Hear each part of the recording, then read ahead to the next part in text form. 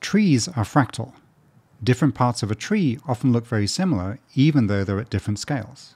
This branching point here is big, this branching point here is small, but they look more or less the same as each other. Fractal geometry is a kind of symmetry. Symmetric objects look the same as themselves after you rotate or reflect or slide. And with fractals, you can also scale things up or down. Well, okay, these branching points don't look exactly the same as each other when I scale them. Natural objects like trees are never perfectly symmetric. But what if you want perfect symmetry? Here's a 2D fractal tree designed by Robert Fathauer. He took photographs of a Palo Verde tree and digitally combined them with scaled copies. So this is, at least in principle, perfectly fractal. And if you've got a fractal that looks exactly the same at different scales, then you can make a video zooming into it that loops. With a natural tree, this wouldn't work so well. It wouldn't seamlessly fit together around the loop. So that's a zoom into a 2D fractal tree, and of course I want to make a zoom into a 3D fractal tree. This is a follow-up video to a video I made about zooming into a 3D printed fractal surface. Go check out that video for some of the issues that came up in making looping zooms like this. For example, why I have to physically move the camera towards the fractal rather than using the zoom on the camera. But anyway, instead of zooming into this bumpy surface, this time I want to zoom into a tree. Well, here's the 3D printed tree that I came up with. Or maybe you'd say it's less of a tree and more like a cauliflower head, or a sea anemone, or a piece of coral. And we'll get to the zooming loop and why I've mounted it at this strange angle, but before that, uh, now let's see, how do people do this? Many, many commenters on my previous video had strong opinions about the fact that I wasn't pulling focus as I moved in. Well, here you go. This is a version of that zoom loop with control of the focus as the camera moves in. And while that's running, let me complain at you about how much of a pain it was to get working. My motion control equipment is controlled by a Python script. I need the focus to be controlled by the same script. The focus on older camera lenses can be controlled by a piece of motion control equipment that physically rotates the focus ring but modern lenses focus with motors that are not mechanically linked to the ring. This is so they can autofocus more quickly. So I wouldn't be able to reliably reproduce a change in focus using motion control to physically rotate the focus ring. Instead, I can control the focus on my modern lenses electronically. Okay, great, but is there a Python API for this on my Panasonic Lumix camera? Of course there isn't. Instead, there's a proprietary remote control app that has buttons on screen that you can click to change the focus on the camera. I used the PyAutoGUI Python library to have my Python script literally click on the screen where the remote control buttons are. Does the remote control app tell you what your current focus is? Also no. So I had to figure out how many clicks I needed to get the focus from infinity to focusing on the print when the camera is far away, and how many more clicks get it to focus when the camera is near. And then what is the relationship between distance along the slider and how many clicks I need to do to be in focus? Well, I can tell you that it isn't linear. I'm not sure what it is, but I tried a quadratic relationship and that seemed to work well enough, so I, I called it a day. All right, now we've got that out of the way. There were some things I wanted to improve from the previous Fractal Zoom project. One of the issues was that the scaling factor is pretty large. It's a factor of three. This meant that I couldn't get that many levels of recursion in the print, only five levels.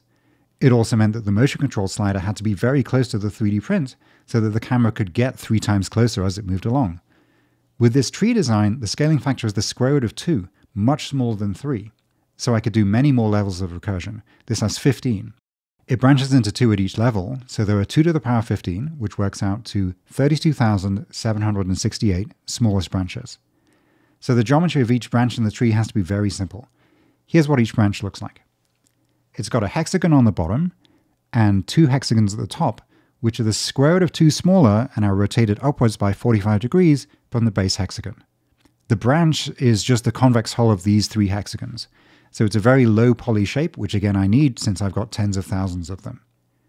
By scaling down two copies of the branch and moving their bases to fit onto the hexagons at the top, we get a second level of the tree. Then we can repeat again and again and again, 15 times in total. And because of how we made it, if we take the whole tree and scale and rotate it in the same way as we did for the second level, it matches up with itself. This is more or less what has to happen in the fractal zoom, except that we don't physically scale the 3D print, instead the camera moves closer. It wasn't so obvious what this rotation axis is. but the 3D print has to rotate around it, so I had to work it out. The combined movement and scaling that takes the base hexagon to one of the top positions can be written as a 4x4 transformation matrix. I got the axis of rotation and the center of the scaling by looking at the eigenvectors of that matrix. I designed this screw mount on the inside of the 3D print in the direction of the rotation axis. This receives a bolt, which is mounted onto the motion control motor with this thing to stabilize it. It's actually a knurled knob I bought from McMaster-Carr, of course. With this setup, I don't have to worry about lining up the fractal with my rotating motion control motor like I did in the previous video. Or maybe it's better to say that I didn't worry about it this time. It could still be inaccurate, but I have too many other variables to keep track of in the setup, so it's great to be able to just get this fixed in the print. Alright, let's see this fractal zoom then. Here's the zoom loop I got after much fiddling with the setup to try to remove errors. One thing that was harder with the tree than with the previous project was figuring out exactly where the camera should be looking. It has to look at the center of the scaling and rotation, which was easy to pinpoint on the bumpy surface that we had before, but it's harder to see here. I also couldn't separate out the rotation from the movement of the camera, like I could in the previous project. There's no way to get this tree to match up with itself by only moving the camera. I have to rotate the print as well. And here's what's really going on. Again, the camera is moving in at the same time as the print is rotating. And as in the previous project, the speed at which the camera moves is decreasing exponentially while the print is rotating at constant speed. I've got one more thing to show you, adding laser lights of course. But first, thanks to JLC PCB for supplying this print. And well, you can see that any errors in the precision of their print are at least no worse than all of the other sources of error I had to deal with.